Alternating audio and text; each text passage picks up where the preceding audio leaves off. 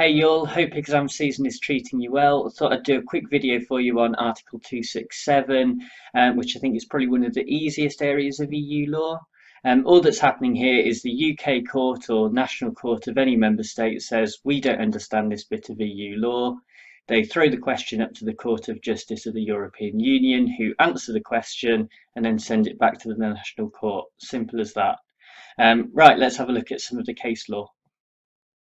So as ever, we're going to start with um, definitions, and this time we're going to think about the different types of courts and tribunals that can actually make a reference to the Court of Justice of the European Union under Article 267. Now, the main case that you want to set out here is Broekmeulen from 1981. And while you may think it's pretty obvious in a problem question or even in an essay question what a court or a tribunal is, I think it's still worth going through these criteria um, and making sure that you can tick all of them off before you proceed on to the next step. Really easy way to get some marks early on. So the first question, is it established by law?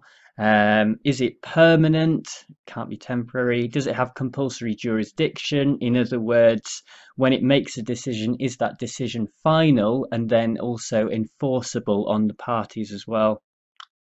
Inter partes means between parties, and it just means that the case should be A versus B or X versus Y, as you would see in any normal adversarial legal system. Does it apply rules of law? In other words, is it integrated into the legal system of that particular member state? Um, you may also want to mention the Nordsee case from the following year in 1982. Um, this was a case that um, queried whether arbitrators could be considered a court or a tribunal.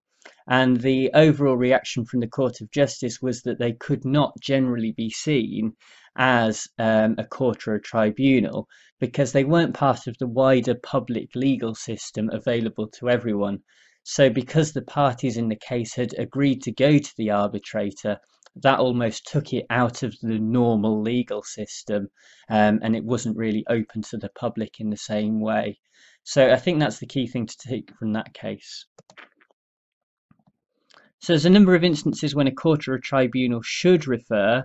Um, in Ex parte Else 1993, uh, Sir Thomas Bingham, who was the Master of the Rolls at the time, set out some criteria for when a court should make the decision to refer a case. So it has to be crucial to the decision. So the uh, question of EU law has to be key to coming to the final decision in the actual case itself. The court should also consider the need for consistency across the whole of the EU and making sure that um, words and phrases in either the treaty or directives or regulations are all interpreted in a consistent manner across all 28 member states. Uh, and the court should also think about the advantages that the Court of Justice has as well in Europe. So they're used to dealing with European Union law all of the time. They're experts in the area. And also, they're part of the wider EU institutions, so they're the best placed people to offer an interpretation. And that's something that the national courts should always bear in mind. Um, another point before we move on is that when the national courts do phrase their question for the Court of Justice of the European Union, um, those questions should be clear and also not hypothetical. So they should actually relate to the facts of the case rather than just dealing with hypothetical situations. Um, and Gasparini, which was a criminal case from 2006, um, illustrates that perfectly. The um, court in that case tried to issue a question on hypothetical grounds, and they said that um, they can't do that. So there's also a number of situations when a court or a tribunal has to refer a question to the Court of Justice of the European Union. And the treaty itself sets out that this is the case when there is no right of appeal. Now, there's been a couple of interpretations of what this no right to appeal actually means. So, in the abstract theory that I've put there, um, the idea was that it literally meant there was no right to appeal, there was no higher court available. So, if we think about this in the UK context, under the abstract theory, the only court that must refer would be the Supreme Court because there's simply no higher court in the country. Now, this uh, created some unfair situations and meant that there weren't many references going to the Court of Justice of the European Union. And so, what developed sort of um, early on within the European Union was the concrete theory. And this means that if there's no right to appeal in that particular case, then a reference should be made. So in Costa and ENEL, the um, question of the money that was due to be paid was actually very small. I think it was about two lira or sort of one pound ninety. And because it was such a small amount of money, that case was never going to go to the highest court in Italy. Um, so it, the case went as far as it could go for that particular amount of money. But because it couldn't go any further after that point, um, it then got referred, and there was a question of it must be referred because there was no further right of appeal in that particular type of case. And I think that's the key thing to remember. So just because it's not the highest court in the land doesn't mean that the, there isn't an obligation to um, give a reference under Article 267. Uh, there's also instances, finally, where the court or tribunal should not refer, and this comes down to the acte clair principle, which was outlined in CILFIT in 1982. Basically, all we're saying here is that where the answer is really obvious, there's no need to give a reference. So when is there when is it obvious? Well, often if the Court of Justice of the European Union has already given an interpretation of a particular word or phrase in a treaty or regulation or directive, there's no need to refer the question again because they'll just give the same answer.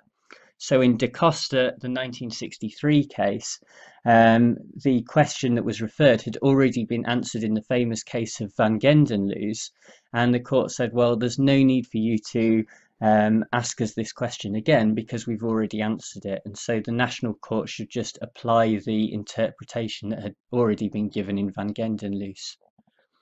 Um, I think that courts have to be careful though when they're doing this.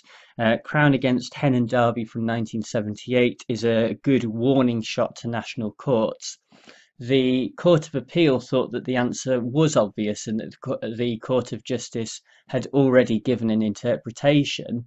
They made a decision on that basis. The case then got appealed to the House of Lords, as it was then, and the House of Lords said, well, actually, we do think that this needs to be referenced. The case went to the Court of Justice of the European Union. They provided a different interpretation to the one that the Court of Appeal had thought was obvious, and so the case turned out completely differently in the House of Lords once an Article 267 reference had been made. So even though the acte clair principle does exist and can be used and is often used in national courts where a, a, an interpretation has already been given, national courts should also be wary of making the decision themselves. And if there is any doubt, then they should refer the question to the Court of Justice of the European Union. So once the Court of Justice of the European Union has sort of made an interpretation or given a definition of a particular word, what happens then? Well, the case goes back to the National Court, and that National Court applies the guidance given by the Court of Justice to the facts of that particular case. And I think this is really important. Um, as I've said later on, um, it has to make the national court makes the final decision in the case. So it's not for the Court of Justice of the European Union to apply a particular interpretation or definition to the case. They just give the interpretation or the definition, and it's the national court that actually applies it and then makes the final decision in the case about who wins and who gets damages, etc. etc. So Arsenal and Reed 2001 is an interesting case because Arsenal actually won for a change. Um, and in this particular case, the Court of Justice overstepped the mark and gave uh, basically an almost a direct answer to the application of the interpretation that they'd given.